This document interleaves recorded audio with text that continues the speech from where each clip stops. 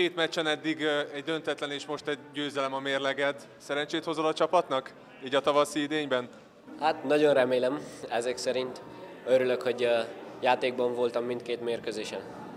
Meséld el, hogy milyen volt ez a találkozó, mert ugye ősszel kaptunk egy fricskát az MTK-tól hazai pályán, ugye megvertek minket, most viszont végigkézben tartottuk a mérkőzést, nagyon keveset hibáztunk. Mi ennek az oka, hogy látod? Igen, akkor egy nagyon rossz élmény volt, de most koncentráltunk, mindenki kész volt, száz százalékban motiváltan, és betartottuk a kiosztott feladatokat, és éltünk a lehetőséggel. Nagyon sok veszélyes beadásunk volt a mérkőzés során, pedig ugye öt védővel álltak fel. Hogyan tudtuk átjátszani a védelmüket? Hát a mi játékunkkal passzoltuk, labdakihozatal, amit szoktunk. Elégedett vagy most is, ugyanúgy, mint a Ferencváros elleni mérkőzés után magaddal? Elégedett vagyok, de jobbat akarok mindig.